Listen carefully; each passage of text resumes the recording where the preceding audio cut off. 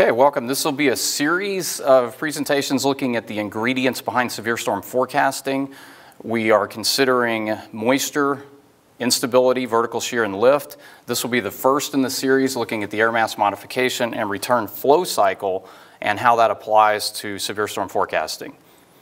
Okay, key elements in this process, really there's two things that you need to know. It would be the how the air mass modifies over the warmer underlying ocean surface, and then where's the air coming from and going to, so the air mass trajectories. Those are the two key elements, and if you can keep track of those, you can make some pretty powerful statements about what the moisture return cycle will look like as the air mass returns inland ahead of the next synoptic system. Okay, just want to give a little bit of background on the diurnal, or not so much diurnal, but the annual cycles of sea surface temperature in the Gulf of Mexico basin. One thing most people, if you don't think about it, the heat capacity of water is much higher than air. It takes a long time to cool the ocean down. In this case, I've put an arrow highlighting this is the coolest temperatures average for the Gulf of Mexico basin occurs in February to early March.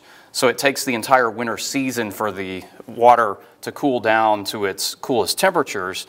And then if we continue down at the bottom, these are interannual variations in the water temperatures. And I've highlighted in the blue belt there at the bottom, there's only about a one degree C variation in the sea surface temperatures mean for the whole basin from year to year. So you can see the water temperatures don't vary greatly. It's about 2 Fahrenheit is the biggest difference you see from one year to the next. So in general, it's the response to the change in the sun angle and the cumulative effect of multiple frontal intrusions over the course of the winter.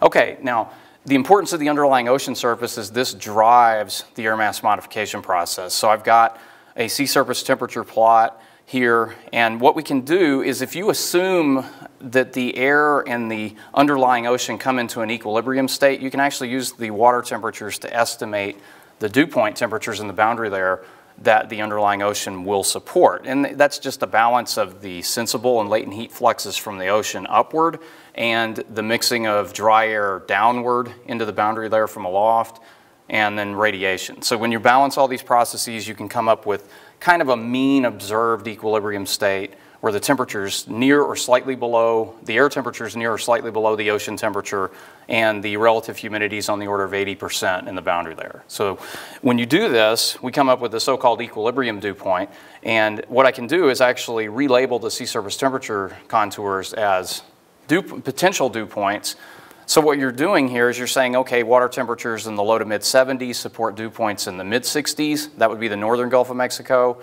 And if you move down to the orange area, which would be water temperatures 27 degrees centigrade or 80 Fahrenheit, supports dew points in the low 70s.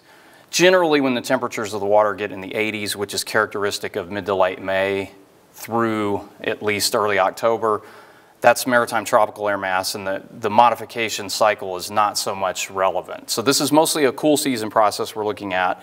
And if you just look at this plot, this is pretty consistent from year to year. We're looking at just, are we getting air that's being modified over the northern part of the Gulf Basin or the southern part or the Caribbean Sea? Okay, here's a frontal intrusion from this past November just to illustrate the process. There's nothing special about this one. It just shows an example of the air mass modification process and the return flow cycle of prior maritime tropical layers. So if we look down, it's a relatively moist air mass down in the Caribbean into the southern Gulf of Mexico. The frontal zone is marked by the cloud band. And you can see in this case we have northerly winds across the northwestern Gulf of Mexico, evidence of cold air damming down into the west central and southwest Gulf Basin just east of the mountains in northeast Mexico. So I've highlighted there the, a snapshot of the streamlines. So the air is coming out of Louisiana and Texas toward the south. Air sea temperature difference is about 15 degrees, and that's looking at the buoy observations out here, the cyan observations. I know they might be hard to see. Water temperatures are in the upper 70s to near 80. So this is a November case, and then the air temperatures above that are in the 60s. So it's that temperature difference that drives convective mixing and the upward fluxes of heat and moisture. We go 24 hours ahead. The front has moved to the southeast across Florida. It's looked like it's slowing down in the southwest Gulf of Mexico, and you notice that the streamlines or snapshot trajectories have changed from coming out of the north to now the flow is coming off the northern Gulf Coast and out of the northeast. So we're already getting a component of onshore flow in South Texas. and the air sea temperature differences are, have re been reduced by about 5 Fahrenheit over the course of the previous 24 hours. And if you look at the character of the clouds out here, this sort of cellular stratocumulus configuration denotes ongoing heat and moisture fluxes. So it's where the modification is most active, you will see that sort of cloud structure pretty continuously. We continue to the next day. Now we're back into the return flows phase, and this is a case where air sea temperature differences has been reduced, trajectories still coming off the northeast Gulf Coast, arcing around and coming back into South Texas. So at this point, this is a modifying air mass returning, and with time, the frontal zone has washed out. We have the old maritime tropical air mass and this thick green contour upper 60 Fahrenheit dew points from the Bay of Campeche into the Western Caribbean Sea. So you would think over time you're going to see increasing moisture into South Texas, and I'll illustrate that with a series of soundings of what this process looks like. So this is just to set the stage, and we're going to jump to some skew-T diagrams to look at how the soundings change and what that says about the moisture return. So this is the offshore flow phase. You noted it was coming, this is the sounding from Slidell, Louisiana. This is day one of the day behind frontal intrusion and the next day. Notice there's relatively little change in the profile. It's not terribly cold and the cool air mass is about the same depth, which extends here somewhere below 850 millibars. So focusing on that, the offshore flow is not changing too much over time. What I've done here, this is a boundary layer lapse rate. I'm just assuming if you take the upper 70 degree ocean temperatures that are present offshore over the northern Gulf of Mexico, and you mix heat upward, this is a general guesstimate of the lapse rate that you would get. So this tells you what the boundary layer might look like once you modify this profile over the ocean with no other changes going on. Okay, now let's jump over to Brownsville. This is further to the west uh, in deep South Texas.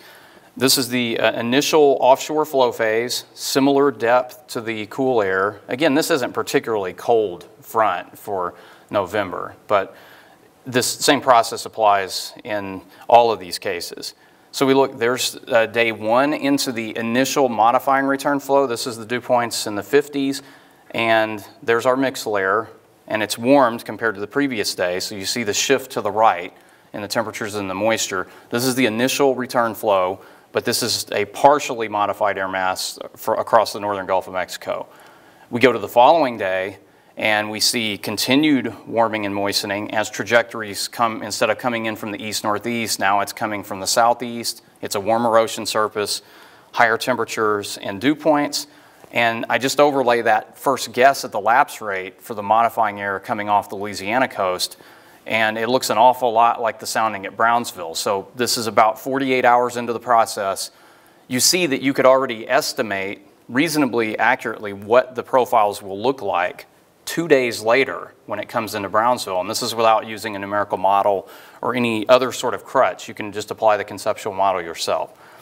And then finally we come into Brownsville and we have the moistening. Now we have dew points in the 70s. You notice the, I plot that same mix layer. Now the temperatures and dew points have actually shifted to the right. This is the old maritime tropical air mass. So we've gotten past the modifying post-frontal modification process, and this is the tropical air that was preceding the front is now starting to return back into South Texas about 72 hours later. Okay, so we'll just summarize this. Again, the air mass modification is a multi-day process.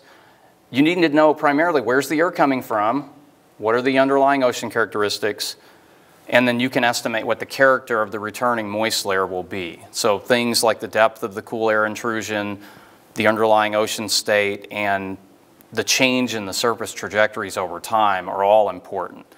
And if, if, you can master those processes, then you'll have a pretty good guess at what the return flow moisture will look like without even resorting to a numerical model forecast. And this gives you the chance to judge the quality of, say, a model forecast by applying a conceptual model to the whole air mass modification cycle.